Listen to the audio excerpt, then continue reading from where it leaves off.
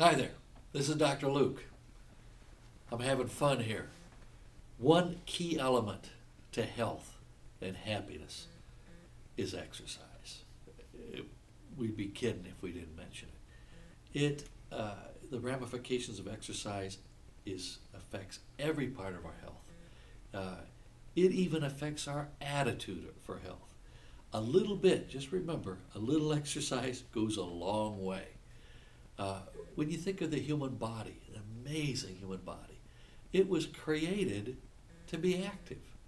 It was created to function physically better, to depend on activity in everything, for hormonally, uh, skeletally, skeletally, uh, socially, spiritually. All these elements are affected to us getting around and interacting and, and becoming young and healthy.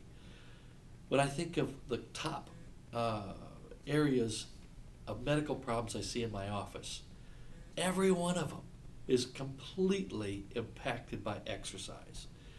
Uh, it's not just my office, but all medicine is dealing with uh, things like high blood pressure or hypertension, incredibly affected by exercise. High cholesterol, duh, exercise. There's something called, um, uh, well, just diabetes. And the condition that many of us Americans have, we have a little bit extra weight, we have a little bit high tendency toward high blood pressure, toward high cholesterol, and this syndrome uh, is affecting probably the majority of Americans, and it leads to heart disease and stroke, completely affected by exercise.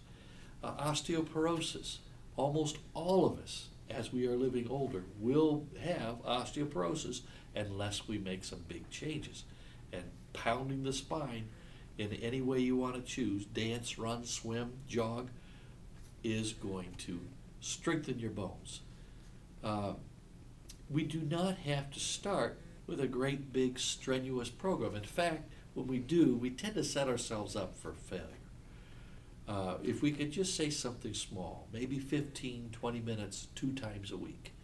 Now, we may want to do more than that, but if we make that our minimum goal and give ourselves two three months, then check with a friend or your doctor and say, How am I doing? You're going to find out you did it. That was a goal you could succeed in.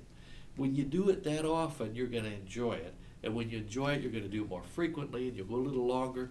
Ultimately, you might even get up to a brisk mile every day. How wonderful.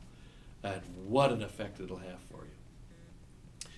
The, the key to exercise is that we need to stay consistent.